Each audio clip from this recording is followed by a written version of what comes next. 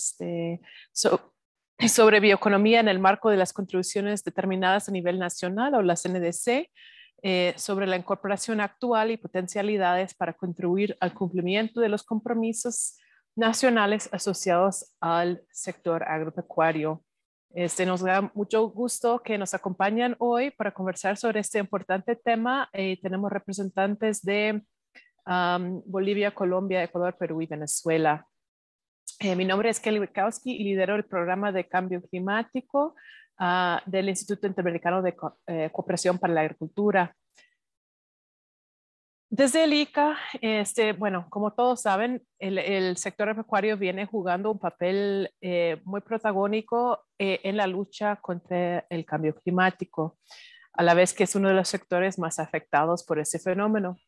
Em, y dado eso, em, desde el ICA, trabajando con nuestros países miembros, buscamos entender mejor la participación del sector agro en los procesos y también cómo el sector ha ido implementando los elementos que relevantes para el sector de las contribuciones nacionalmente determinadas. Entonces embarcamos en un proceso trabajando con actores del sector ambiental y el sector agropecuario para entender mejor los avances, las necesidades y las brechas.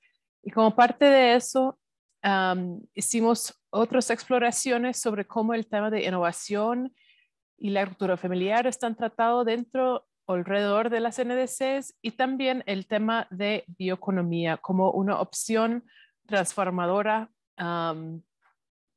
para el sector.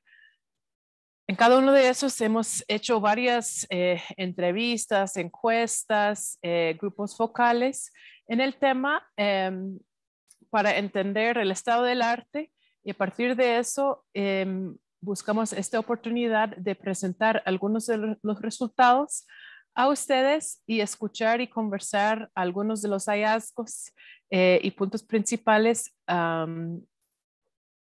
para poder eh, terminar como nuestro, bueno, no terminar, pero seguir profundizando nuestra comprensión eh, del tema y ver cómo eh, desde el ICA podemos apoyar a nuestros países miembros a, mm, armar una agenda de cooperación horizontal y empezar a desarrollar algunos proyectos para canalizar mayores recursos técnicos y financieros a los, al sector este, para seguir apoyando el desarrollo y implementación de las NDC.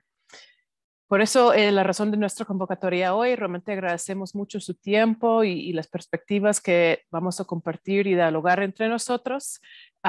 y mi colega Carolina Borda va a explicar un poco más la dinámica. Eh, muchas gracias. Bueno, eh, acá ustedes pueden ver un poco la agenda de, de, esta, de esta reunión.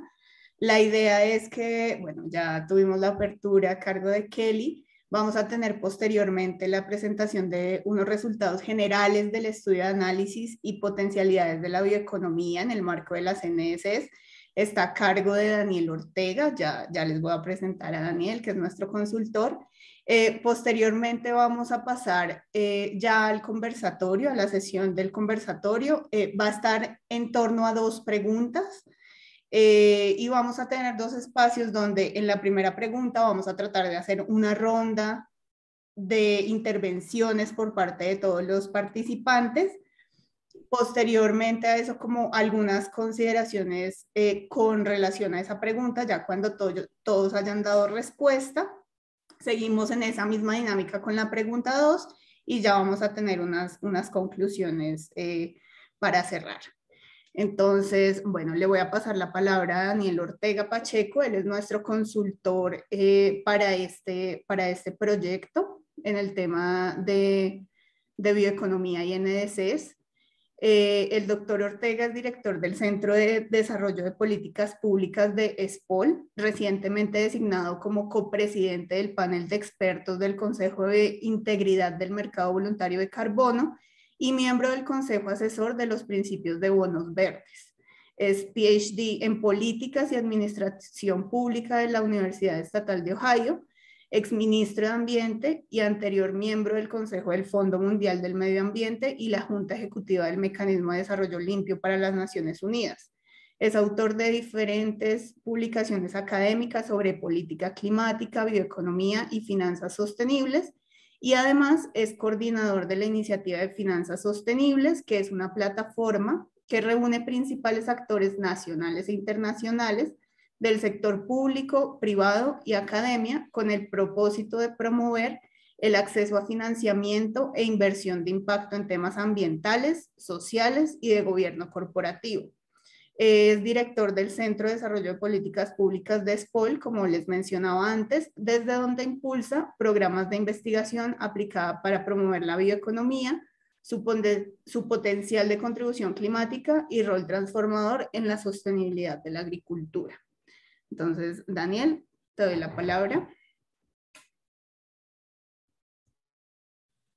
Muy buenas tardes con todos, mucho gusto, Carolina. Creo, creo que deben habilitarme el uso de video porque no, lo, puedo, no lo puedo hacer.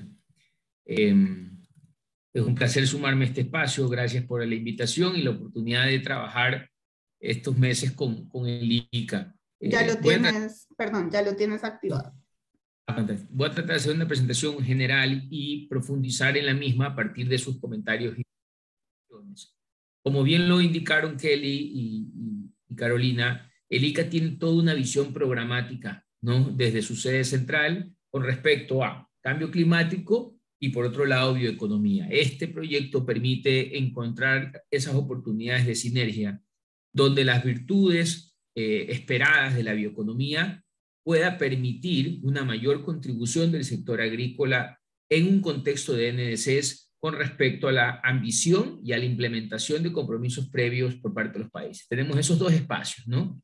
Los países actualmente tenemos NDCs, se están implementando, unos avanzan más que otros en sus diferentes versiones y dentro de ellas la contribución del sector agrícola pudiese encontrar a través de la bioeconomía un factor que permita facilitar su contribución e incrementar su ambición. Entonces, esto va a concentrar nuestra, nuestra atención en los próximos minutos. Eh, vamos a tratar de entender un poco más a detalle qué es esta propuesta de bioeconomía y por qué tiene un potencial de contribución, dónde y cuándo tiene una interacción con agricultura y a partir de ello entender que desde la bioeconomía puede ser un enfoque de, de, de, de aplicación donde la acción climática de los países de la región pueda no solo movilizar recursos, sino asegurar la sostenibilidad del sector eh, eh, con sus retos profundos de productividad, de intensificación y de, eh, digamos, una interacción positiva con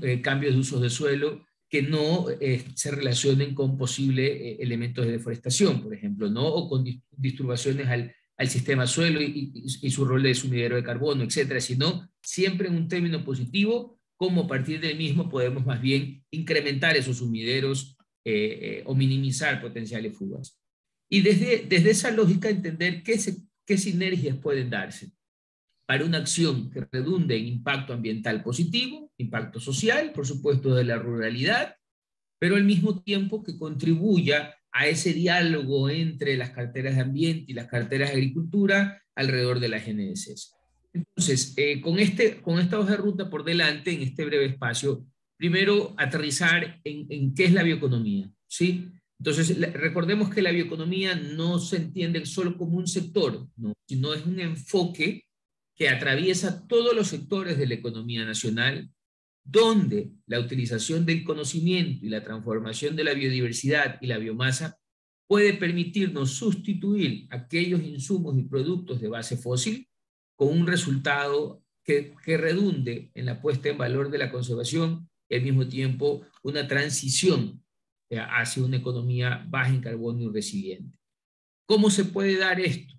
Sabemos que tenemos recursos biológicos, la biomasa, los procesos biológicos, los principios, pueden ser sujetos de una industrialización inteligente a través del uso de biotecnologías, otras ciencias biológicas y no biológicas, y a través de investigación, desarrollo, innovación y divulgación, poder desarrollar también convergencias tecnológicas aprovechables por diferentes sectores. Por ejemplo, en la agricultura, esa transformación de biomasa puede generar bioproductos tipo abonos orgánicos u otros biopesticidas que puedan utilizarse en la misma, o bien algunos de estos bioproductos o bioservicios que se generen por el ecosistema agrícola pueden también terminar con mayor valor agregado en otros espacios como la energía u otros sectores económicos. Digamos que si existe, existiese eh, eh, biomasa residual de la agricultura, de las grandes cadenas agroexportadoras o de la agricultura familiar, esa biomasa eh, con algún componente lignocelulósico pueda transformarse en insumo para generación de energía, bien sea centralizada o descentralizada. Entonces, desde esta lógica de entender la bioeconomía, el ICA ha pregonado un conjunto de senderos, ¿no? Que puede permitir en un amplio rango categorizar algunas prácticas de bioeconomía desde la aplicación de biotecnología hasta, por supuesto, el aprovechamiento de los, los servicios ecosistémicos, lo cual convierte en la agricultura en un sector fuente y destino. ¿Qué quiere decir fuente y destino? Porque generamos biomasa, ¿sí? Y alguna de ellas puede ser residual y puede ser reaprovechable.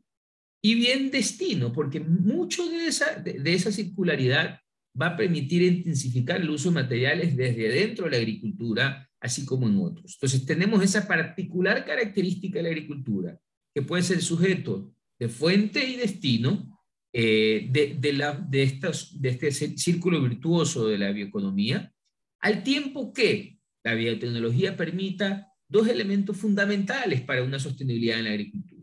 Y esa tiene que ver con intensificación y con mayor productividad, que nos permita en el área de terreno disponible elevar nuestros niveles de cosecha o nuestros rendimientos sin tener que por eso expandir la frontera agrícola amenazando áreas boscosas u otros sumideros o ecosistemas. ¿no? Entonces, eh, la, la, capacidad que tiene la bioeconomía de facilitar la sostenibilidad de la agricultura en los próximos años puede jugar un rol fundamental para compatibilizar ese crecimiento sin dejar de tenerlo, compatibilizar ese crecimiento con la sostenibilidad. Eh, si esto es una idea que podemos entretener o un concepto que podemos nosotros asimilar, podemos también profundizar en esa, en esa característica. Entonces, primero, la bioeconomía puede tener un potencial climático en la agricultura. Segundo, ese potencial climático tal vez tenga una gran, un gran componente de circularidad, porque en efecto hemos hablado de biomasa residual de las principales cadenas.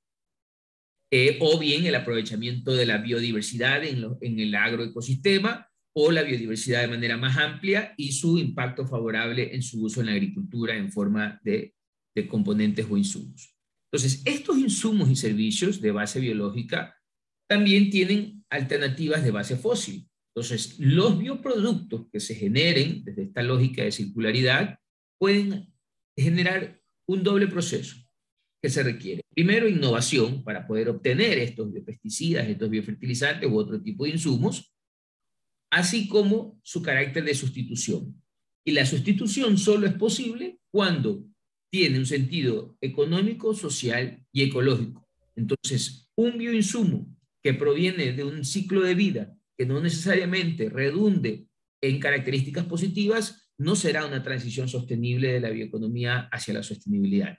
Entonces, tenemos esto presente donde a partir de estos insumos y servicios pueden existir nuevos proveedores, ¿sí? Donde se pueden generar bioemprendimientos, primero con algunos desarrollos tecnológicos que después se escalan, eh, que generan estos bioproductos, fertilizantes, pesticidas y otros insumos, como pueden ser también eh, este, eh, bases para el desarrollo de nuevos sistemas de packaging, logística y transporte, o de bioservicios que están basados en la naturaleza y que hoy en día son, son de gran interés.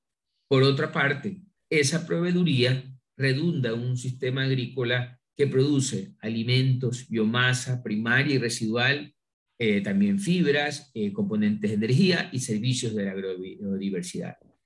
Estos elementos provenientes de la agricultura pueden finalmente transformarse y agregar valor en una bioindustria donde podemos tener feedstocks para producción de energía eh, o pellets también para producción de energía, otro tipo de bioproductos como los, que se generan con respecto a la, nutrición, se denomina nutracéutica, la biomedicina o, insumos para consumo de los hogares, así como ingredientes activos para otras eh, industrias como pueden ser enzímicas, enzimas, bioquímicos y otros procesos y, y bioservicios. Es decir, este es un gran paraguas. Tiene múltiples ramificaciones y una alta complejidad. Pero el concepto central de la potencia, el potencial de circularidad permanece, donde se conectan los recursos de base ecológica y su transformación a lo largo de la cadena de valor para en un momento determinado inclusive convertirse nuevamente en un insumo. Para poder acercarnos a, a un enfoque racional que nos permita entender cómo todas estas prácticas de la bioeconomía pudiesen tener un despegue, una adopción, una aceptación, hemos generado esta gráfica. Es una gráfica aún especulativa que nos permite ordenar al menos en tres oleadas lo que puede ser la disponibilidad de diferentes prácticas de la bioeconomía, así como un nivel de certidumbre con respecto al desarrollo de los mismos. Si ustedes ven los colores verde y celeste, hemos especulado con respecto a su mayor capacidad de reducción de CO2 o su menor capacidad de reducción de CO2 en base a literatura. Por lo que nosotros vemos que aquellas tecnologías más fácilmente accesibles, adoptables, implementables y escalables son aquellas que se relacionan con desarrollos biotecnológicos que en la región tienen ya larga data, que tienen que ver con bioinsumos, que tienen que ver con energía biomásica descentralizada eh, así como biocombustibles que muchos de los países ya viene desde hace algunos años trabajándose. Eh, lo que estaríamos explorando acá es un biocombustible además de segunda o tercera generación. En un segundo momento, ¿sí? posiblemente a finales de esta década, pensaríamos que la transformación de materiales genéticos provenientes de la biodiversidad pudiesen redundar en cultivares mucho más adaptables o resilientes al clima, sistemas, además de exportación de bioinsumos, que podamos nosotros no solo satisfacer demanda nacional, sino internacional. Y finalmente, como lo ha propuesto ya Chile y otros países, adoptar grandes políticas de transformación energética, como puede ser el hidrógeno, que inclusive los convertirá, eh, según la planificación que Chile ha propuesto, en exportadores de bioenergía. Entonces, todos estos son desarrollos posibles, no, no viables en todos los países, pero que de una otra manera nos acercan a entender este rol que puede llegar a tener la bioeconomía y su conexión con la contribución a la reducción de emisiones. Si este concepto inicial de que la bioeconomía tiene un potencial de contribución climática a partir de una lógica de circularidad es posible, nos permite además entenderlo desde una gestión de riesgo climático para el sector agrícola. El IPCC desde hace algunos años nos ha propuesto esta interacción para el entendimiento de los riesgos y de la gestión de sus peligros, de la vulnerabilidad y la exposición y, sensibilidades, ¿no? Para poder mediar los, los, impactos y, y, el flujo de emisiones que se asocia en mí. Hemos tomado esta gráfica ilustrativa y la hemos transformado a un entendimiento general de lo que puede ser la bioeconomía. No voy a entrar al detalle de los mismos, me basta en este momento eh, eh, resaltar que los principales elementos de vulnerabilidad del sector agrícola ante el cambio climático son de su pleno conocimiento. Y esos elementos de vulnerabilidad además se exacerban por nuestro modelo de desarrollo, donde en la ruralidad se concentra la pobreza, se concentra la desnutrición y donde muy probablemente las condiciones unitarias también de exposición hacia las pandemias son mayores. Pero Adicionalmente, se exacerba esa vulnerabilidad porque nuestra capacidad adaptativa en el sector agrícola se ha visto de una otra manera expuesta, justamente por el COVID. ¿no? Recientes estudios nos indican que la falta de acceso a recursos y la dependencia a fertilizantes, en su mayoría importados, convirtieron en aún más vulnerable la agricultura familiar y la agricultura de la agroexportación.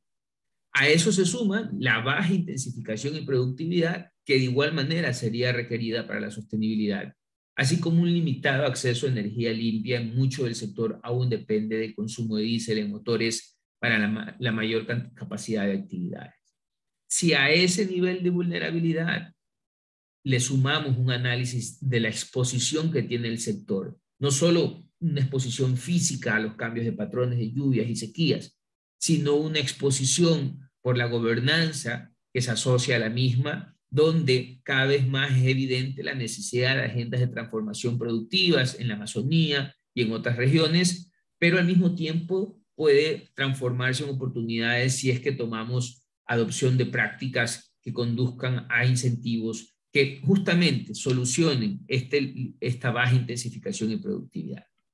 Con este entendimiento, sabemos que los impactos asociados de la vulnerabilidad de la agricultura pueden redundar en, cambios en la seguridad alimentaria y energética, en los niveles de flujo de exportaciones que contribuye el sector al crecimiento y a los ingresos nacionales, así como a los niveles de pobreza rural y migración. Con esa lógica y ese análisis, pensamos que si la contribución de la bioeconomía puede ser realizable en el sector agrícola, pudiese realmente ser un factor que permita facilitar la implementación de las NDCs e incrementar su ambición. Si ustedes observan en la pantalla, tenemos una gráfica donde consideran dos colores, el azul y el anaranjado. Ambos son las contribuciones por país de la región Nuevos Países que hemos podido estudiar, donde observamos que el sector agrícola es uno, un principal contribuyente de emisiones en países como Uruguay y Paraguay, por más del 50%, eh, y que al final del día, con cambios específicos, pudiésemos lograr mayores niveles de intensificación productiva, como se los voy a comentar en adelante. Pero no sería descabellado pensar que en agregado la bioeconomía pueda llegar a contribuir a reducir al menos el 10% de emisiones en el sector agrícola. Y esta premisa la voy a demostrar en adelante con los recursos que tengamos.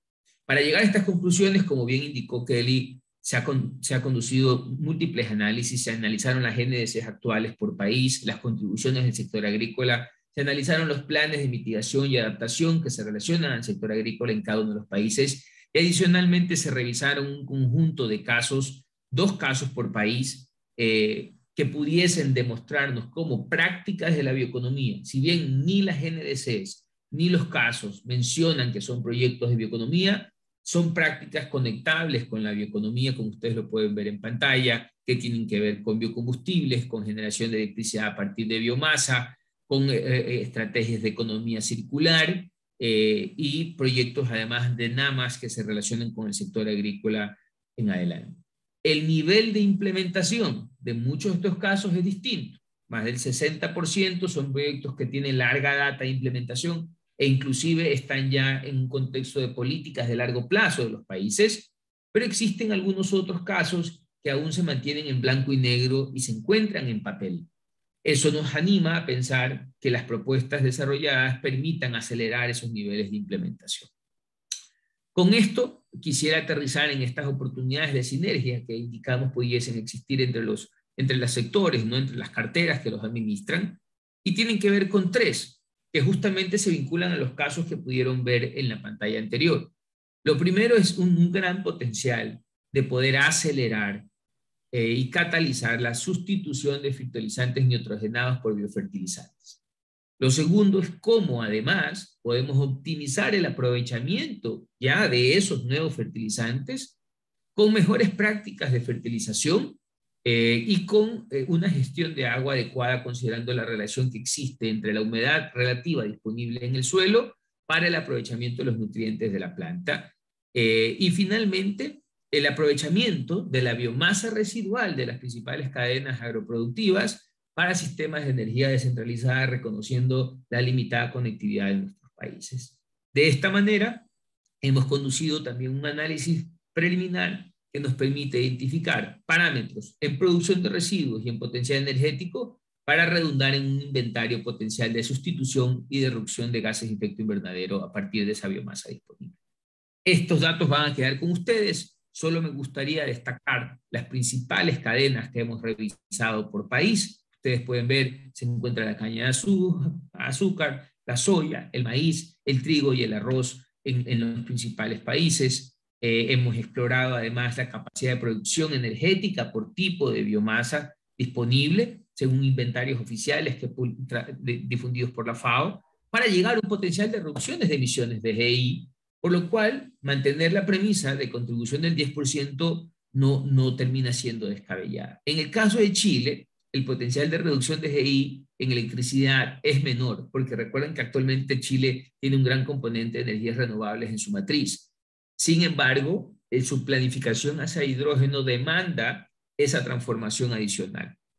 Y con ello, pues llegamos a este potencial de reducción de emisiones por país a, través del aprovechamiento de la biomasa residual. Van a recibir todos estos detalles, son números aún que estamos refinando, pero nos ha permitido ya parametrizar, ¿no? Algunos de los supuestos y de las potencialidades de la bioeconomía, aterrizándola. Y ojo, que solo estamos enfocando a muy pocas prácticas de la bioeconomía. Esto ni siquiera es la punta del iceberg de lo que la bioeconomía pudiese representar en características de sustitución y de reducción de gases de efecto invernadero. ¿no? Eh, a partir de eso, continuaremos el análisis, estamos terminándolo ya también para fertilizantes, en el entendido de que los países de la región terminan siendo importadores netos, solo Brasil y Venezuela tienen una gran capacidad productiva de fertilizantes nitrogenados, pero todos de ellos con base petrolera. Entonces, el reto es cómo esa producción y esa logística puede funcionar para no solo facilitar un bioinsumo, reducir una dependencia de importaciones, sino además también permitir que esta innovación redunde en, ahorros energéticos dentro del ciclo de vida. Y estamos trabajando en una programática de proyecto que siga una teoría de cambio aceptable por Fondo Verde y otras instituciones financiables que no voy a detallar, pero que nos lleva realmente a entender que la bioeconomía tiene un potencial de contribución climática que puede permitir acelerar la implementación e incrementar la ambición de la contribución del sector agrícola en las NDCs, que principalmente en un primer momento se concentra en una rápida transferencia de tecnología. ¿sí? Esto es primera oleada. Si queremos hablar de segunda oleada y tercera oleada, es innovación, desarrollo e investigación. Pero actualmente tenemos tecnologías disponibles que pueden tener una rápida adopción. Existen esfuerzos similares ya en marcha, como son el BIT, que tiene su fondo de bioeconomía, trabajando para disminuir el riesgo en bioemprendimientos. Y en muchos de los países, de los casos que revisamos, Brasil, Ecuador, Perú, ya han podido lograr vincular préstamos verdes al establecimiento de estas prácticas agrícolas o sustitución de insumos. Por lo cual, eh, consideramos que el ICA eh, y su potencial contribución a través de los insumos que ustedes nos den en estos conversatorios podrá eh, terminar de pulir las ideas y estas visiones programáticas de intervención. No quisiera este, alargarme más, eh, sino más bien permitir que ustedes puedan comentar eh, y permitirnos mejorar este esfuerzo. Mm, gracias, Daniel. bueno, ahora les voy a mostrar, les voy a compartir mi pantalla nuevamente. Eh, ya pasaríamos a este, a este espacio de, conversatorio donde nos van a estar acompañando eh, pues cinco personas, estas cinco personas que ustedes ven aquí de Bolivia, Colombia, Ecuador, Perú y Venezuela. Eh, este, como les mencionaba un poco, este conversatorio, este, espacio de intercambio va a estar enfocado en dos preguntas que van a ser un poco las que van a guiar la conversación. Entonces, eh, bueno, te doy la palabra nuevamente, Daniel.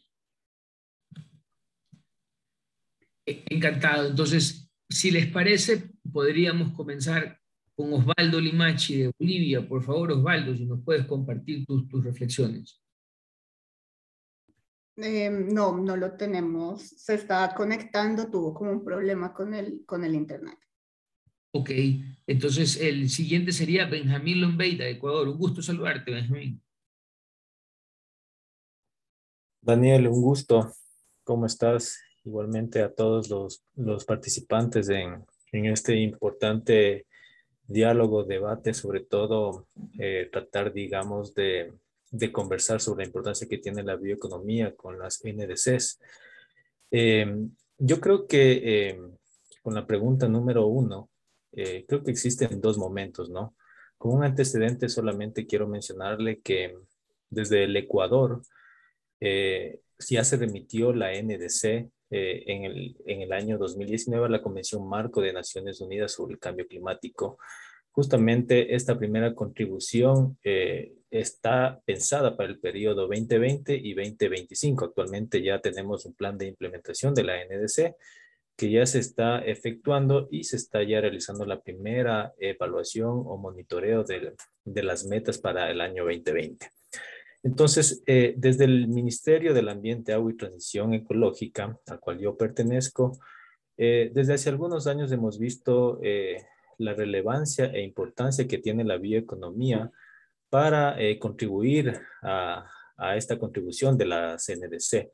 Y efectivamente en este ámbito se lo ha relacionado con el tema de adaptación, específicamente para el sector de patrimonio natural, donde hemos logrado eh, anclar eh, como meta para la generación de una política pública de bioeconomía a través del uso y aprovechamiento sostenible de la biodiversidad con criterios de adaptación.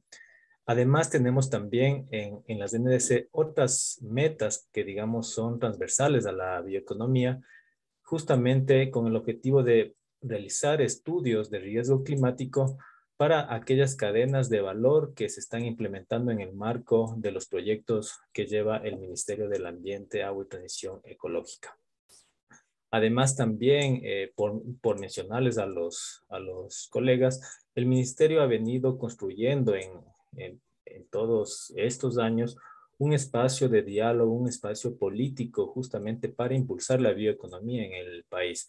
Por ejemplo, eh, el año pasado se firmó el Pacto Nacional por la Bioeconomía Sostenible, que abarca actores tanto públicos, sociedad académica, sociedad civil, actores de la cooperación, y lo que busca es em, tener una línea conceptual de lo que es la bioeconomía para el Ecuador entendiéndose a este concepto como un modelo alternativo que hace uso y aprovechamiento sostenible de la biodiversidad y de su agrobiodiversidad, donde se enfoque componentes como, por ejemplo, eh, mejorar la competitividad, eh, ser eh, iniciativas de inclusión social y también tener este enfoque de resiliencia climática.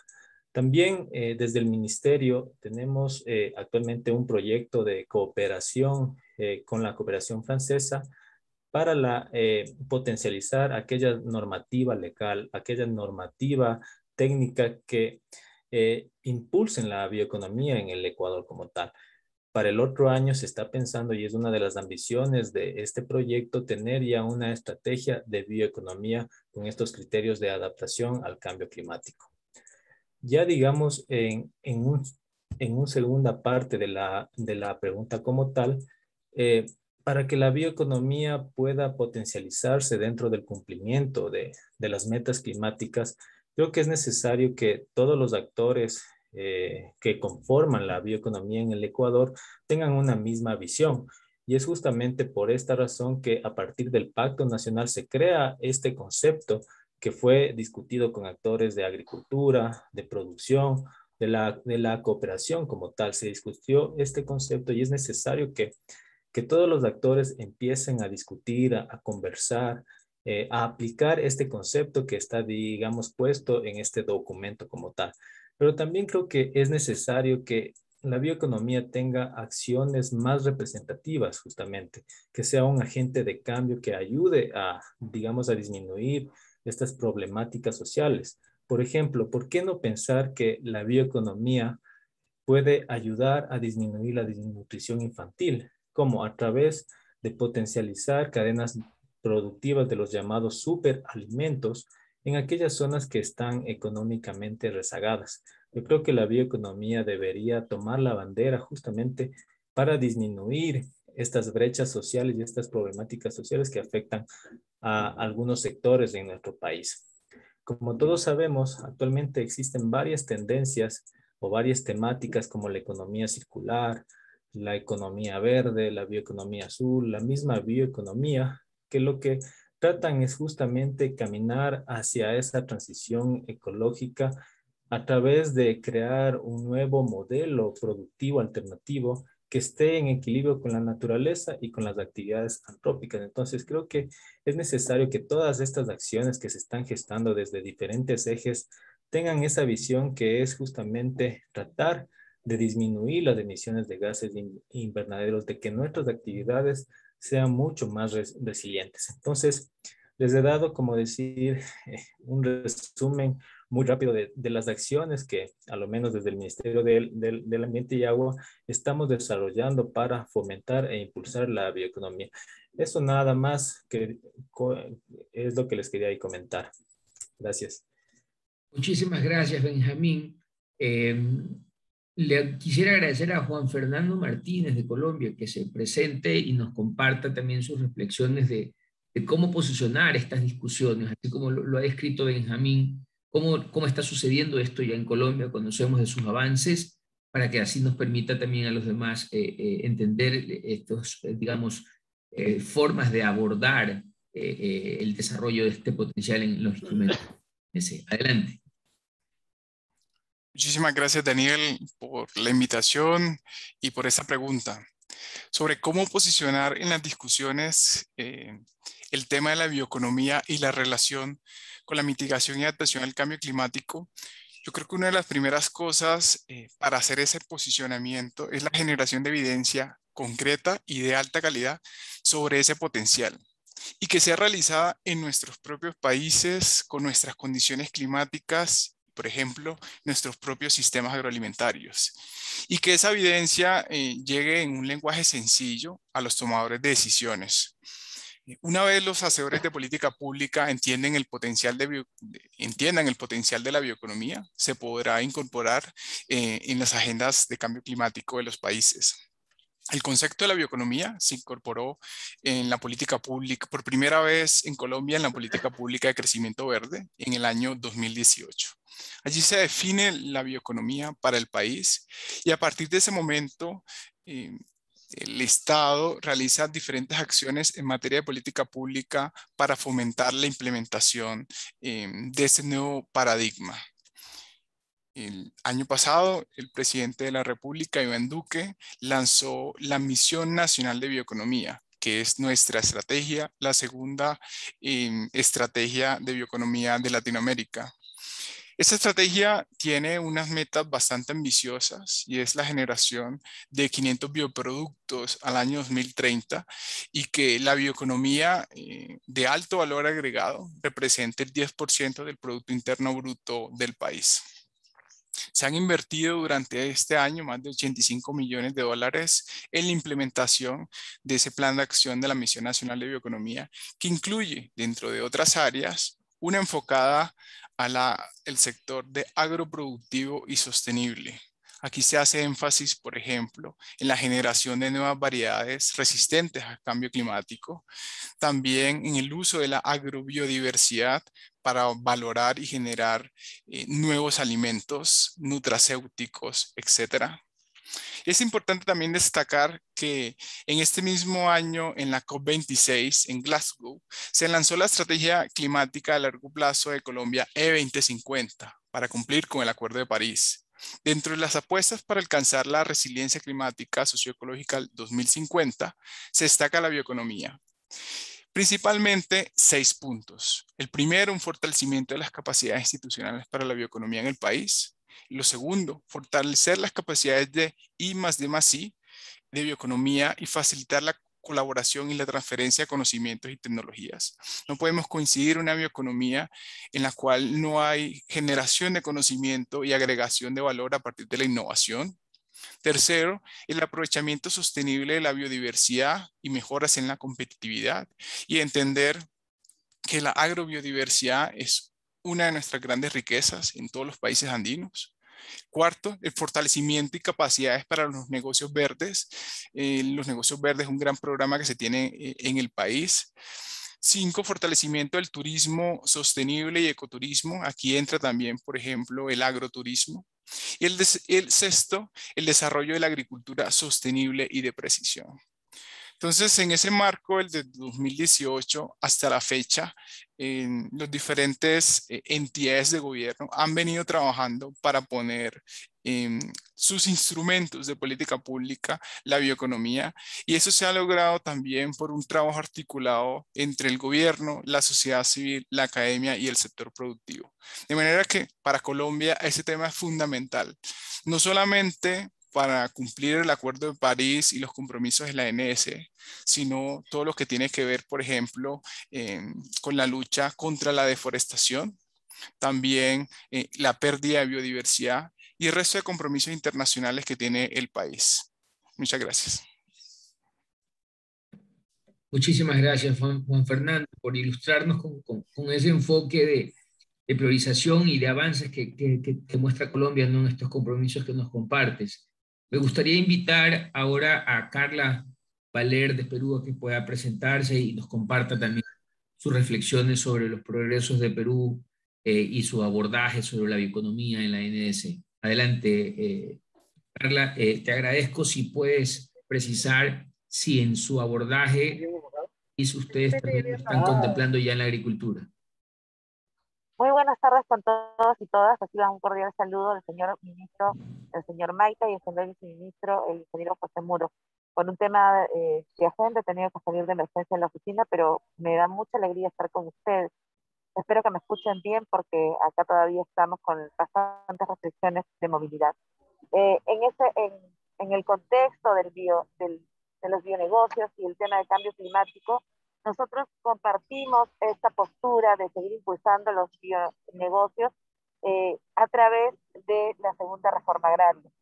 ¿Qué es básicamente eso? Nosotros lo que hacemos es impulsar la justamente de todos los bienes que tenemos a nivel de cultivos, a nivel de no solamente aquellos que son eh, frutales, sino también otros elementos que vienen del bosque. Eh, ya desde el año 2016, eh, el Ministerio del Ambiente, que es un gran aliado con el cual trabajamos el tema de adaptación y cambio climático, nosotros hemos estado trabajando justamente bionegocios a nivel, sobre todo de productos de la selva, ¿no? Porque tenemos una gran riqueza a nivel frutícola. Esto ha hecho de que tengamos un gran número de eh, bionegocios que, estén, están comenzando a, exportar, ¿no? Y esto también está haciendo de que el, consumo del, digamos, del pueblo peruano se esté focalizando en este tipo de este, emprendimientos. ¿Qué se está haciendo? Ferias a nivel de las capitales, ferias a nivel de los departamentos, eh, y lo que nosotros tratamos de poner en valor, no, claro, no lo teníamos con ese nombre per se, pero eh, a través de una temática que era la producción más limpia, tratábamos que, por ejemplo, en la cadena, en la cadena de arroz, ¿no? que se había identificado, tratar de ver con qué tipo de combustible se hacía el pilado. Eh, como comentó usted en el tema de Chile, ya tienen, eh, por ejemplo, todo lo tienen a través de un sistema este, hidroeléctrico. Nosotros todavía tenemos una porción de, este, de, dentro de la matriz que son termoeléctricas o dependen necesariamente del biodiesel. Entonces han comenzado a haber políticas de cambio a través del Ministerio del Ambiente, trabajando también con el Ministerio de Energía y Minas, que ve el tema de la matriz energética. Y en el caso de nosotros, vuelvo a repetir, estamos eh, posicionando mucho el tema de la riqueza o la puesta en valor en la selva. También hemos visto que la selva, más allá de fomentar, pues, este, o, lo que pasa tristemente a nivel de nuestra región, de que haya deforestación, estamos tratando de potenciar el bosque, ¿no? ¿Qué elementos nos puede dar el bosque, ¿no? Y, como dice, y como usted bien definió en el tema de la bioeconomía, tratamos de que todo recircule en el mismo bosque, haciendo el ordenamiento territorial viendo el aprovechamiento de los otros recursos, no solamente maderables, sino no maderables, y que eso se reinserte en estos espacios de, protección. Entonces, sí está en nuestra agenda pública, como repito, desde el año 16, ¿no? con el crecimiento verde, que también impulsa el Ministerio del Ambiente. Esto lo ha eh, hecho suyo el Ministerio de Desarrollo Agrario y Riego a través de sus programas también que estamos posicionando en la política temas de economía circular. Nombres o definiciones pueden haber varios, pero lo importante es que estamos buscando que el agricultor eh, vaya sincerando el hecho de tener bionegocios. Y como bien lo dijo este, el colega que me antecedió, también hay un tema vivencial con la agricultura, la agricultura sostenible. Eso es lo que les puedo comentar desde el punto de vista de mi país y quiero que sepan de que nosotros ahora en esta reforma les hablamos justamente de eso, que no solamente vean los negocios y evidentemente que todo tiene un, costo económico, pero también tiene una, una huella ambiental. Entonces, eso es lo que el agricultor ahora no tiene idea, cómo los gremios nos buscan para que les expliquemos cómo su pequeño negocio puede tener su, su impacto en la CNDC. Y eso realmente es admirable, ¿no? Que ellos mismos se preocupen por esta temática. Muchas gracias por ello, por darnos el espacio a Perú. Encantados, Carla. Qué, qué, bueno siempre aprender de los progresos y los avances. Entendemos que además el establecimiento de este fondo de la Amazonía, del BID, eh, va, va, a poder justamente dinamizar los bioemprendimientos, ¿no?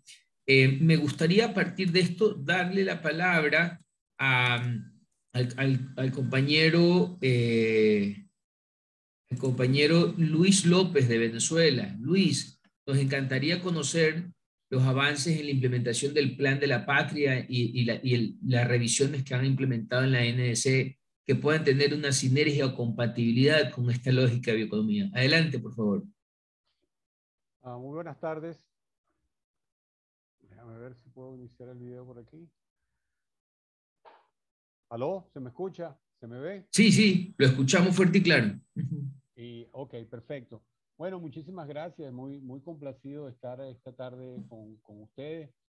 Eh, me gustaría muchísimo hablar de, de, avance de la bioeconomía en el país, pero este, hoy eh, creo eh, la primera vez que Venezuela se presenta en un contexto internacional a hablar sobre bioeconomía y particularmente en la, en la región andina.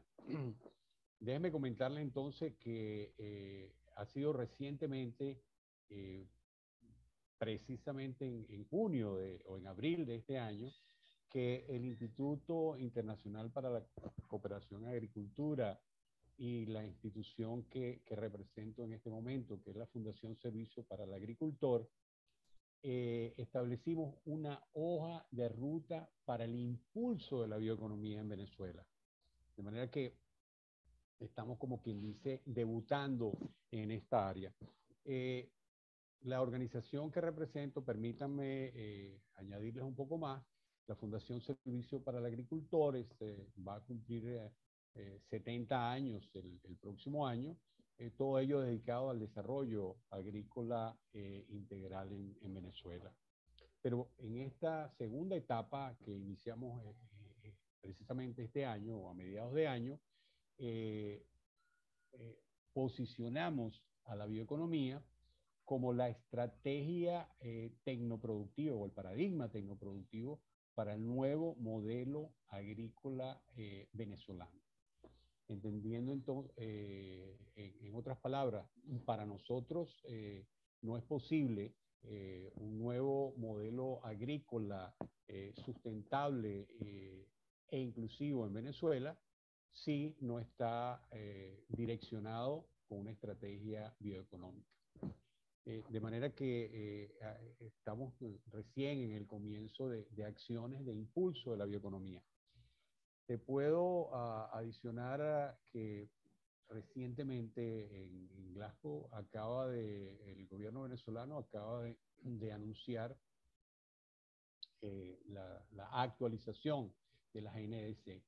Esta actualización de la, de la NDC está basada fundamentalmente en energía eh, en la reducción de, de los GI, eh, de los gases de efecto invernadero, pero fundamentalmente en energía. Y en lo que se relaciona con el sector agropecuario, eh, solamente contempla actividades de adaptación, más no actividades de mitigación. Estas actividades de adaptación están direccionadas fundamentalmente eh, eh, en, el, área ambiental, porque la institución, eh, la institucionalidad o la, institución que rige el tema del cambio climático en Venezuela es el Ministerio del Ambiente, más no es el Ministerio de Agricultura y Tierra. Y el único de los, de los cultivos, este, digamos, considerados eh, el, cacao. Pensamos que, bueno, también pudiese incorporarse el, caso del, cultivo del café porque tienen más o menos las mismas características. pero solamente hay contempladas actividades relacionadas con el cultivo del, del cacao eh, en temas de adaptación. ¿Cómo vemos nosotros que se puede eh, potenciar la bioeconomía en, en este contexto eh, legal que tenemos en Venezuela y el, en, en, el contexto del accionar de las políticas públicas? Bueno, la ley de sanidad agrícola integral que va a ser reformada próximamente establece que eh, a, la, a, la, agroecología como, como, el, como el paradigma de, de, de producción, el cambio hacia, hacia la, el nuevo modelo agrícola. Pero a, en su principio fue un tanto restringido a, lo que era la agricultura orgánica y la pequeña agricultura. Últimamente ha habido una apertura hacia, hacia, hacia otros hacia otros sectores, hacia la agricultura convencional, motivado fundamentalmente a la escasez de los insumos agrícolas que ha impulsado enormemente el crecimiento de lo que son los bioinsumos agrícolas. Algo que inicialmente se consideraba restringido a, un sector bastante pequeño de la agricultura, se ha potenciado este, grandemente en los últimos años. De manera que creemos, y, así lo hemos asumido el ICA y, FUSAGRE, que hemos estado, estamos desarrollando actividades relacionadas con los insumos agrícolas, así es que organizamos eh, un, unos seminarios y estamos organizando unos talleres eh, con apoyo de este primer taller lo, lo realizamos con, con, el apoyo de, de, Argentina, el segundo taller va a estar eh, apoyado por por uh, Brasil y así sucesivamente para, para conocer de las experiencias en el desarrollo de, y, y, y, el posicionamiento de los, de los bioinsumos agrícolas en estos, en estos países como una manera de ir este, entendiendo que los bioinsumos son transversales en el, en el sector agrícola. Eh, si me preguntaran cómo, cómo creo que, que deberíamos eh, potenciar nosotros aquí en el país o posicionar la bioeconomía en el tema de la NDC sería eh, eh, identificando a la bioeconomía como una opción real de descarbonización. Mientras no logremos eso de, de, de, poder posicionarlo realmente, e insisto, subrayo realmente como una opción de descarbonización, el trabajo va a ser un, un tanto difícil. Yo creería que uno de los grandes ejemplos son los NAMA, el NAMA agrícola que se está utilizando, por ejemplo, en café en, en Costa Rica. Sería un, un, gran ejemplo, un ejemplo práctico que pudiese eh, comprometer al sector público, a la empresa privada, al ciudadano común, al consumidor e incluso al, al, al, productor agrícola y el pequeño productor en, este, digamos, en, esta, en esta tarea de poder entender y poder asumir que la bioeconomía es una opción real para poder, eh, de, digamos, una, una, opción real de descarbonización. Mientras tanto, estamos asumiendo que la bioeconomía es, eh, de hecho, no, no existe la palabra bioeconomía dentro del, del diccionario de la ANS recientemente presentada. Bueno, me gustaría, de verdad que me gustaría haberle, haberte explicado mucho más de los avances de la bioeconomía en Venezuela, pero realmente, como, como te diste cuenta, estamos recién comenzando ese proceso y bueno, agradecidísimo por esta, por esta oportunidad que tenemos ahora de intercambiar con ustedes. Muchísimas gracias, Luis. Con esta reflexión vamos a pasar a la pregunta 2. Carolina, si eres tan amable y la podemos ver, quisiera pedirles, por favor, que en esta pregunta hiciéramos un, un acercamiento realmente a entender no necesariamente lo que está haciendo ya el Ministerio de Ambiente, que nos queda claro por sus intervenciones, sino dónde tiene una intersección con el sector agropecuario. Eh, y recordemos además que en muchos de los países y de las estrategias NSS, aún el concepto de bioeconomía como tal, eh, como ha sido acuñado por ICA, como ha sido acuñado por el BID o los organismos internacionales, aún no se refleja en las NDCs. Creo que todos estamos casi en esa misma página. Lo que sí hemos podido rescatar es que prácticas que pueden asociarse a la bioeconomía han sido incorporadas. ¿sí? Vamos a ampliar un poco más en esto según las preguntas que veo en el chat. Pero pedirles a ustedes pensar en esta segunda pregunta que nos indica cómo la bioeconomía puede contribuir a acercar a sinergia entre el sector ambiental y el agropecuario en un contexto de NSS en sus países. Muchas gracias. Eh, vamos eh, tal vez darle la palabra a Benjamín, si nos puedes compartir tu reflexión. Sí, eh, bueno, creo que es indispensable que, la bio, que la bioeconomía tenga injerencia en el sector agropecuario, ¿no? Considerando que la agricultura industrial abarca actualmente cerca del 80% de la tierra arable en el planeta, pero también es la responsable de emitir entre un 25 y un 30% de las emisiones de gases de efecto invernadero. Además que es altamente vulnerable ante los efectos climáticos eh, debido a su alta homogeneidad genética, ¿no? Este tipo de agricultura lo que produce básicamente es biomasa y no comida como tal, ¿no? Pero creo que la bioeconomía lo que debería también es aprender de aquellos sistemas productivos del, de nuestros pequeños agricultores, ¿no? que tienen detrás de ellos eh, un gran acervo genético, una gran riqueza de semillas y que también tienen estos conocimientos ancestrales, además de ser un tipo de agricultura eh, resiliente frente a estas problemáticas climáticas, ¿no?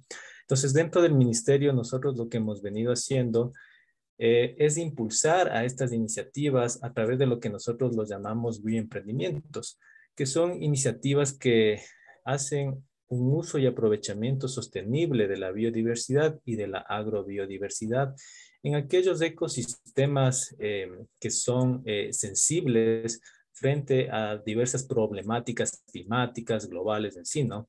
Entonces, eh, a la par que nosotros tratamos de crear una estrategia de conservación del bosque, una conservación de estos conocimientos ancestrales de la chacra. También estamos generando recursos económicos para las, para las familias, ¿no?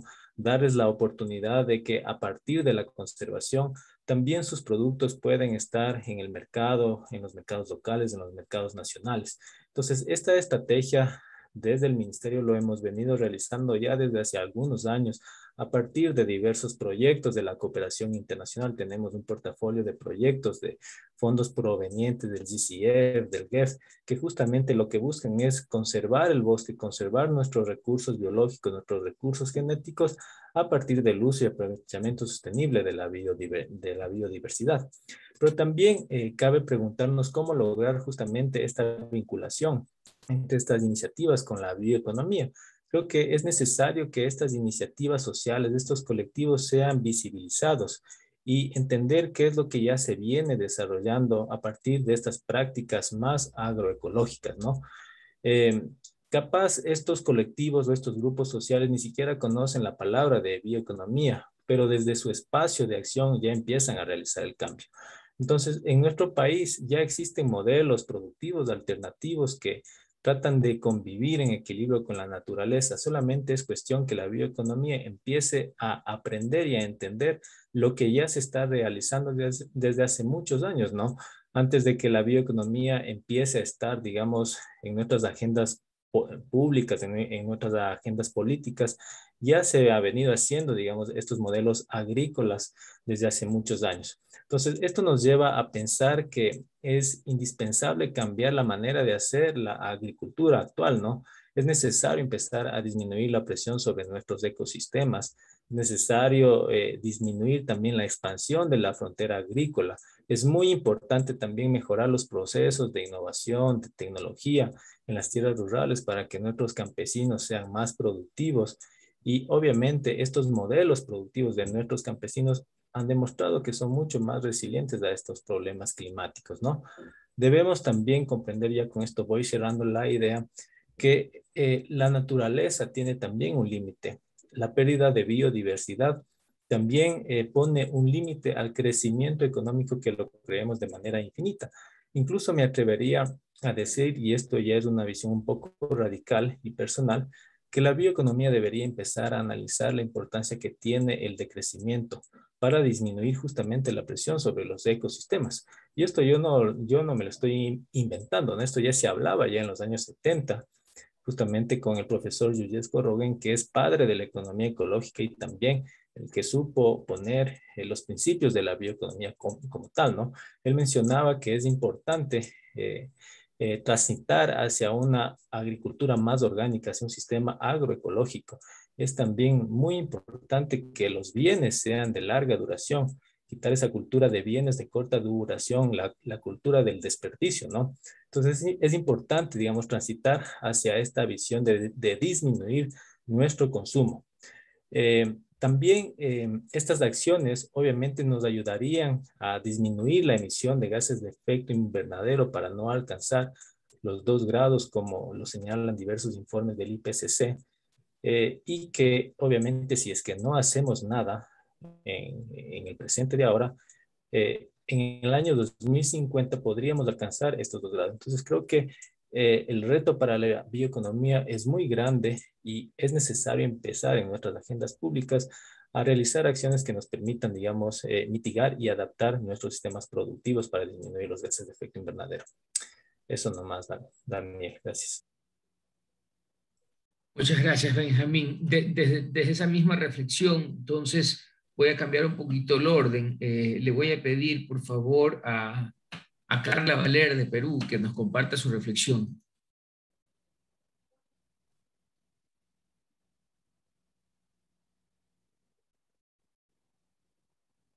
Carla no, está con nosotros.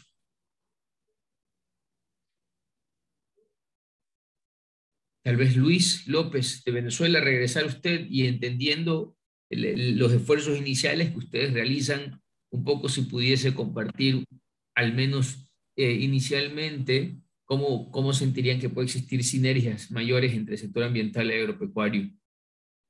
Bueno, bien, me, me devuelvo al ejemplo anterior o, a la mención anterior que hacía del Nama Café, eh, porque pienso que, que, no está muy distante el, la, el objetivo eh, del NS en cacao del café, pues cultivos similares en, digamos, en su presión hacia, eh, digamos, en, su presión de expansión.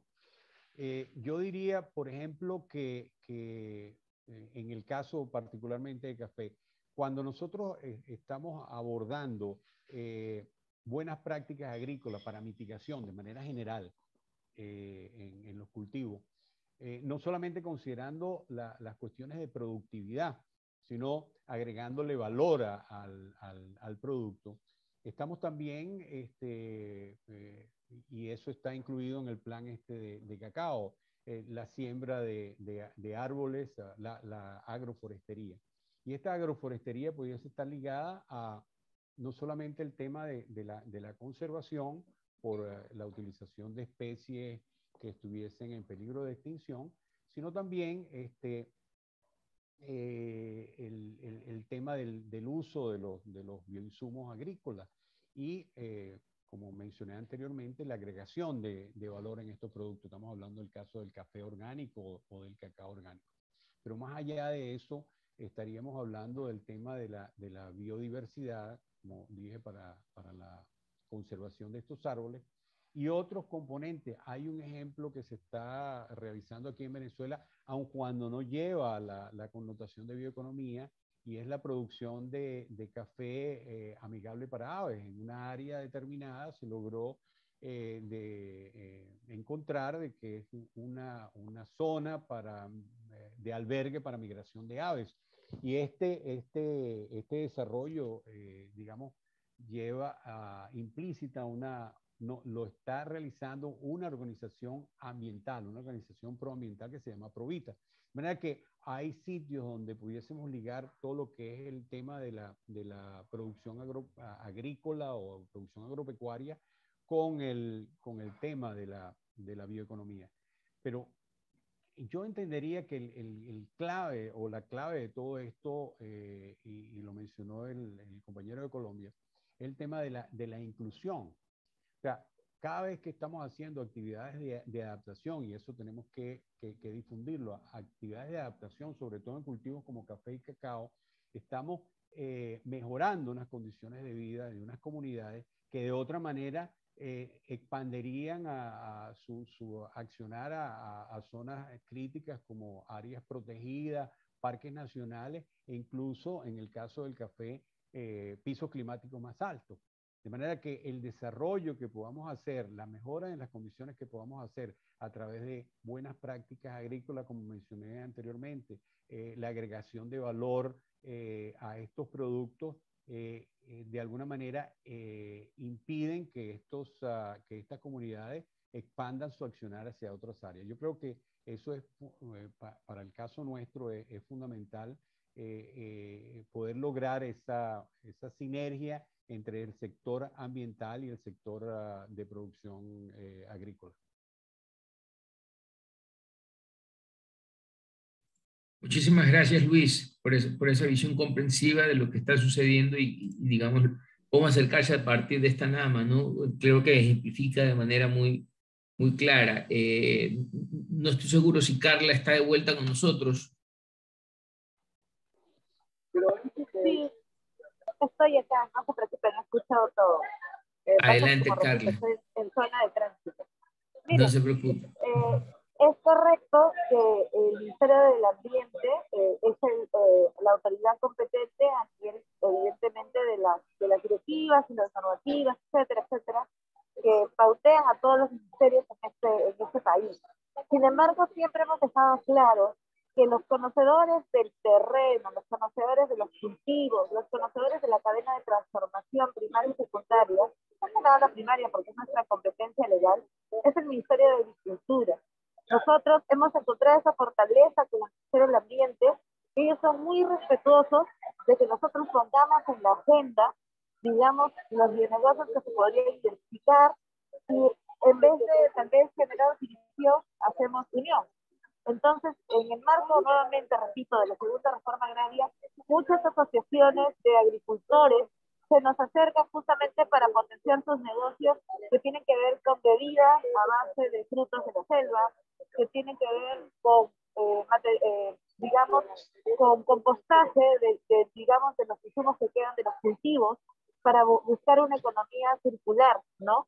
Eh, y vuelvo a repetir, el Ministerio de Desarrollo Agrario y Riego está posicionando justamente su conocimiento para que ese tipo de, de negocios se conozcan en el país, se potencien, porque necesitamos escalarlos, y también, adicional a ello, se sepa cuál es su aporte, digamos, en la CNDC.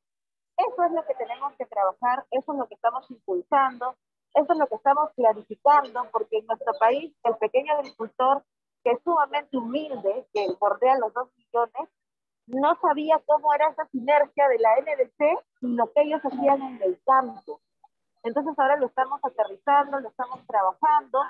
Hace un, menos de 20 días hemos tenido un conversatorio con los gremios y ellos están muy interesados en, en tipo de, eh, de trabajo con las NDC y sus cultivos y también están muy interesados en proteger el bosque porque ellos dicen, tenemos que proteger los bosques, tenemos que proteger las, las cabeceras de cuenca para que nuestros cultivos también no sufran los embates de los cambios climáticos. Entonces, a mí me da mucha alegría que gente de la sierra, que se dice acá gente de la montaña, esté interesada en esto, gente de la selva y también gente de la costa. ¿no? Nosotros tenemos tres regiones bastante marcadas, ocho, eh, varias ecorregiones, y esos eh, digamos, hermanos agricultores y agricultoras cada día le toman más interés a la CNDC. Y eso realmente para mí, como ingeniera ambiental, como directora general de estos sanitarios agrarios y como ciudadana, eh, realmente me enorgullece porque estamos,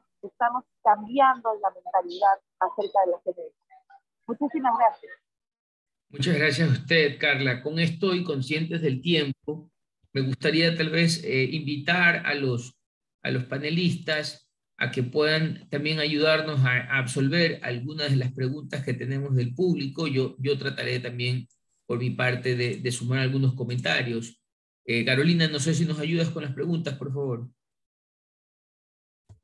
Eh, claro, tenemos cuatro preguntas. Específicamente, bueno, voy a empezar por esta que pregunta si el uso de estiércol bovino para abonar las pasturas puede ser considerado como parte de la bioeconomía.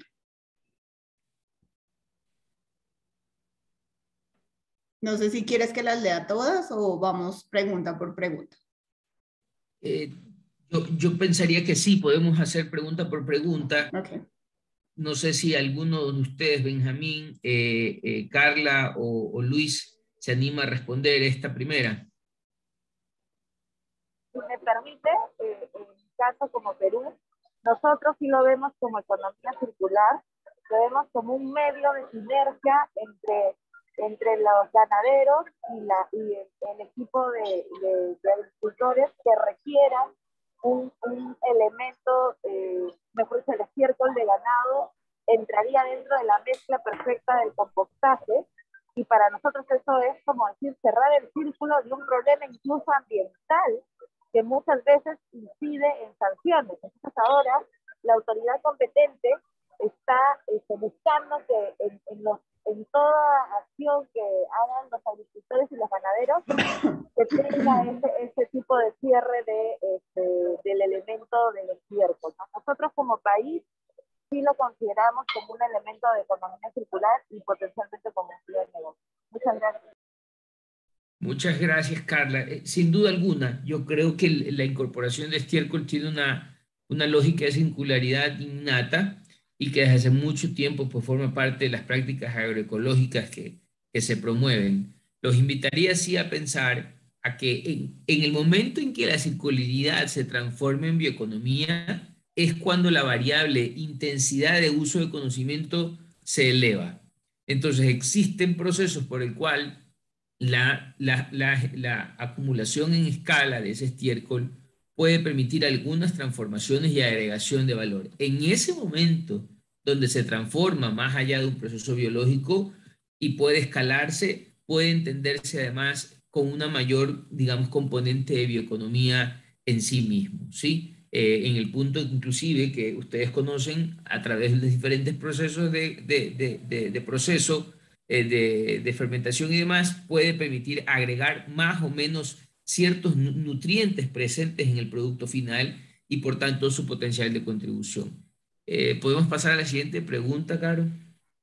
Eh, bueno, esta es específicamente para, se la hacen a Benjamín Lombeida, dice, ¿cómo define o cuáles son las características de las prácticas agroecológicas o la agrobiodiversidad a las que hace referencia?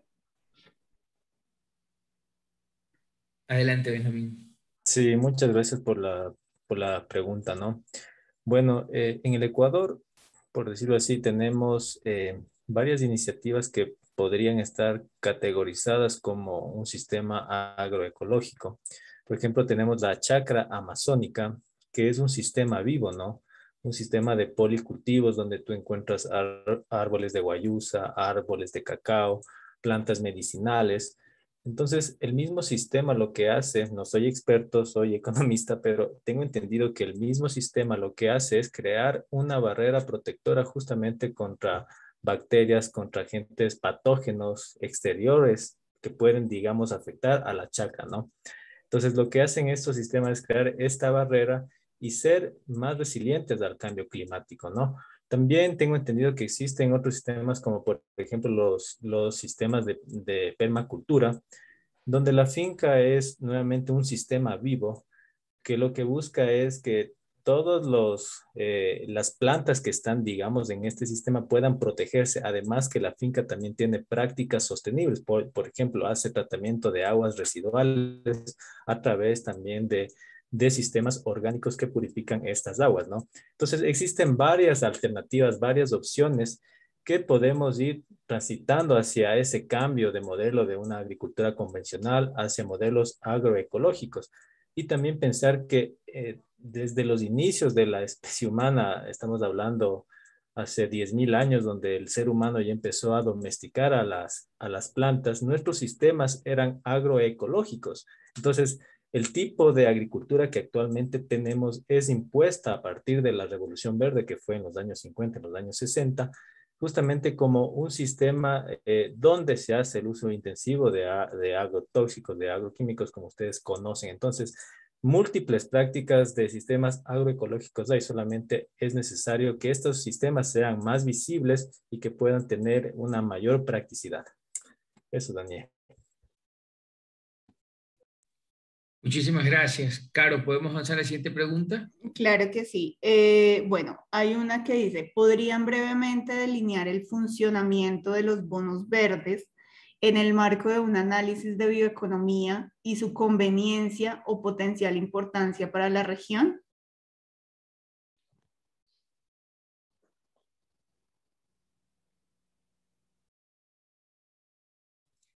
Tal vez me, tal vez me animo a, explorar esta respuesta, Rosa. Muchísimas gracias. Em, recordemos qué significa un bono verde, ¿no? El bono verde es un instrumento financiero que se conoce como eh, uso de recaudación de ingresos, ¿sí? Entonces, el bono verde es una promesa que quien emite se compromete a entregar. Ese bono verde puede tener algunos indicadores de impacto de desempeño, que pueden ser emisiones, puede ser eficiencia energética o lo que fuese. ¿Sí? Entonces es un instrumento de recaudación. Entonces imaginémonos que muchos de los bonos verdes se utilizan para construcción.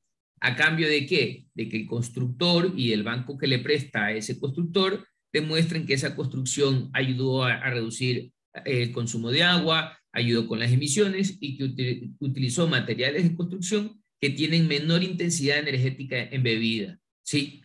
De igual manera pudiese suceder con la bioeconomía. En el momento que las prácticas agrícolas pudiesen certificarse o avalarse de que los bioinsumos que utilizan permiten eficiencia hídrica, permiten reducir emisiones o bien tienen intensidad energética menor que la de los bienes a sustituir, que son de base fósiles, serían fácilmente sujetos de, de, un préstamo verde o a su vez de una emisión de un bono verde que permita financiarlos y de igual manera pueden financiarse a través de bonos, tanto desde la banca privada, de la banca de segundo piso, que son nuestras bancas de desarrollo, o bien inclusive a nivel de bonos soberanos que permitan una transición ordenada del sector de manera estructural. Eso con mucho gusto pues lo podemos expandir. Eh, adelante Carolina con la siguiente pregunta. Bueno, esta es, esta es la última pregunta que tenemos. Menciona, ¿cómo puede aportar la bioeconomía en el desafío de reducción inmediata de emisiones de metano considerando el pacto firmado en Glasgow por diversos países, donde nos comprometemos a una disminución del orden del 30% de este tipo de emisiones. De acuerdo, tal vez puedo dar yo un elemento y alguno de los otros panelistas sumar adicionalmente. En los casos que revisamos, destaco, por ejemplo, el programa en Uruguay que permitía eh, entender la recuperación de metano en, lagudas, en, en, plantas de aguas de tratamiento. ¿sí? El metano de estas aguas eh, eh, se podía recuperar y era sujeto además de aprovechamiento a nivel de, de cogeneración. Estos procesos y servicios de calidad ambiental pueden categorizarse también como práctica de la bioeconomía y pudiesen contribuir en, una gran, en, gran manera a esta disminución. Eh, y lo mismo puede suceder, recordemos por ejemplo que los rastrojos de cosecha cuando quedan en el campo también pasan por un proceso de metano, o bien la calidad de ciertas pasturas a nivel de la rumia de, de la ganadería redunda en mayores emisiones. Entonces, Puede suceder que a partir de un aprovechamiento de recursos genéticos y desarrollo de varietales distintos de pasturas, pudiese afectarse ese nivel, digamos, incrementar la digestibilidad por parte de los animales y reducir el nivel de emisiones de H4. Entonces, múltiples prácticas de la bioeconomía pueden tener un efecto sinérgico sobre metano y en efecto, cuando hablamos del aprovechamiento de los residuos biomásicos de lignocelulosa, Vamos a proveer algunas cifras también a partir de los estudios que estamos finalizando con el ICA del impacto que tendría en metano. Así que una excelente aproximación, Braulio. Gracias por su pregunta. No sé si algún otro panelista pudiese indicarnos cómo podemos también a través de la bioeconomía contribuir a esta meta de Glasgow.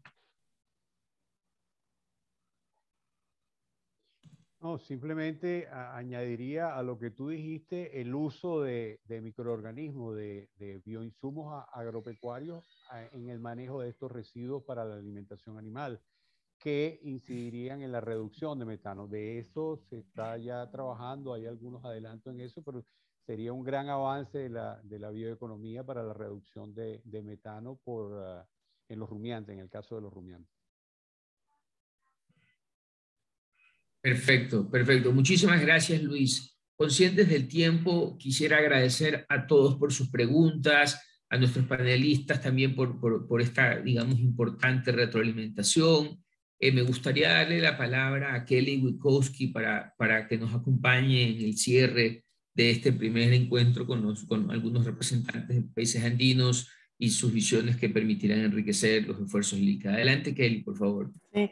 Muchas gracias, Daniel, y muchas gracias a, todos los panelistas y también los que están ahí escuchando y haciendo las preguntas. De por sí, eso es un tema eh, de mucho interés y también mucho potencial para la región, como bien explicó, explicaron todos en realidad, o sea, no solo desde el lado de mitigación, eh, del sector AFOLU, sino también por la resiliencia y la los, aumentos en productividad que la bioeconomía podría ayudar a, al sector ser más competitivo y más sostenible a largo plazo en la región. Esta región eh, de América Latina de por sí tiene mucho potencial em, y tiene que proteger los recursos naturales y servicios ecosistémicos, eh, ecosistémicos que nos brinden. Y eso es un poco la idea detrás de ese acercamiento que el ICE tiene entre las líneas de cambio climático y bioeconomía eh, en la región.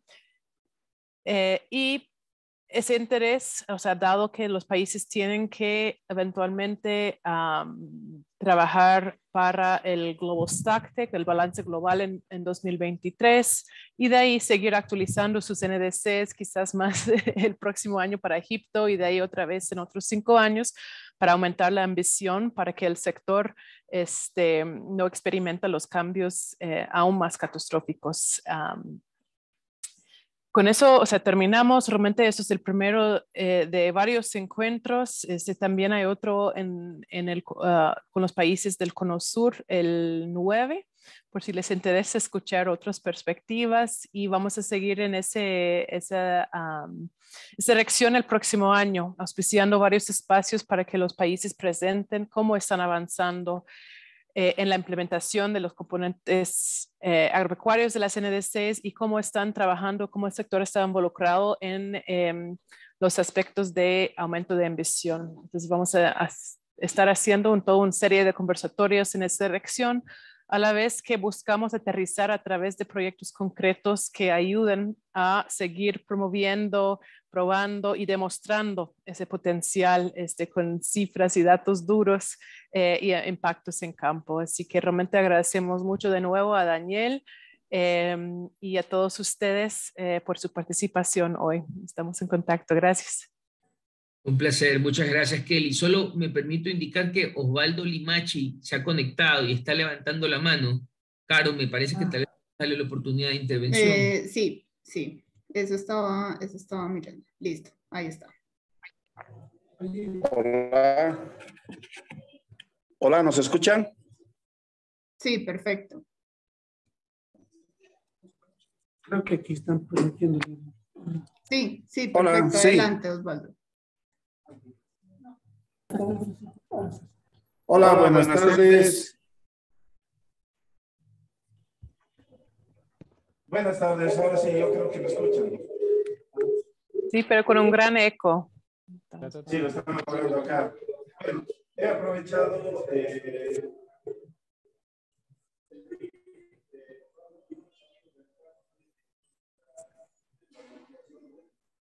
No, no te escuchamos, Osvaldo, qué pena, está muy, muy lejos.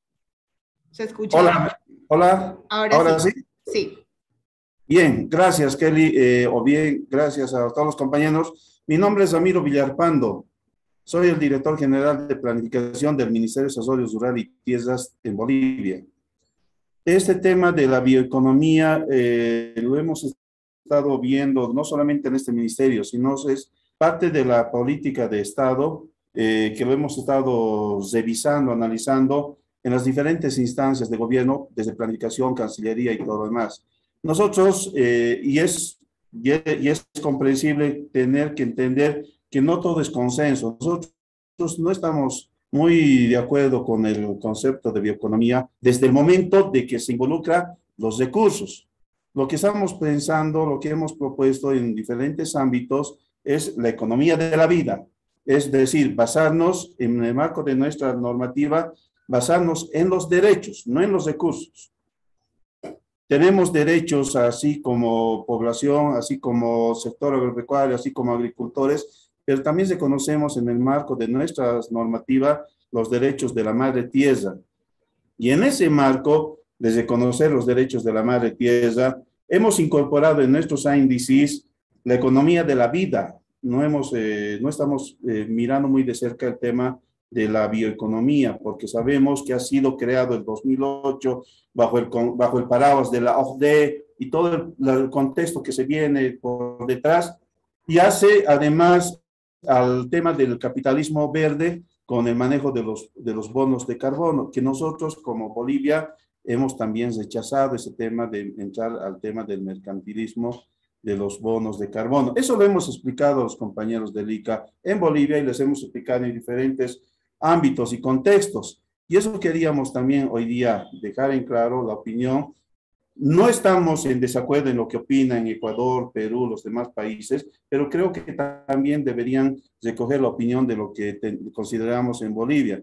Para nosotros eh, vamos más allá de reconocer solamente el trabajo en base a los recursos, que es lo que propone la bioeconomía, sino estamos viendo el trabajar en base a los derechos de la población, de las comunidades, de los pueblos y de la madre tierra. Es un concepto que es alternativo al concepto de lo que es el tema de adaptación y mitigación al cambio climático en función de los ecosistemas.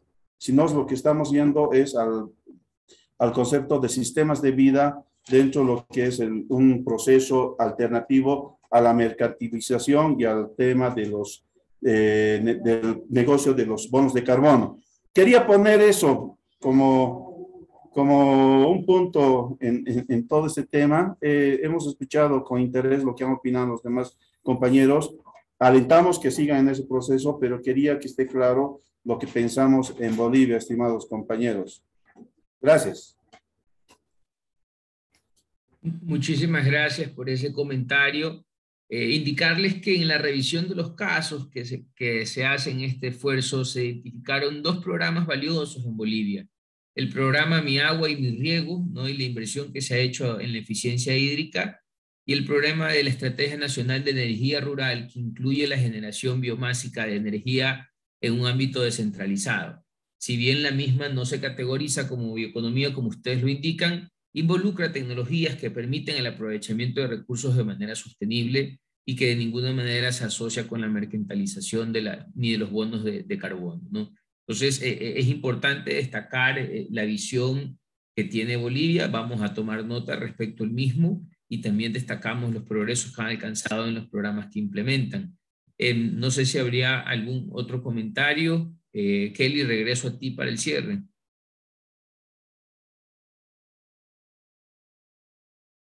No, más bien muchas gracias este, por compartir y, de ahí, bueno, si no logro escuchar toda la conversación, tenemos la grabación, tenemos que ver cómo,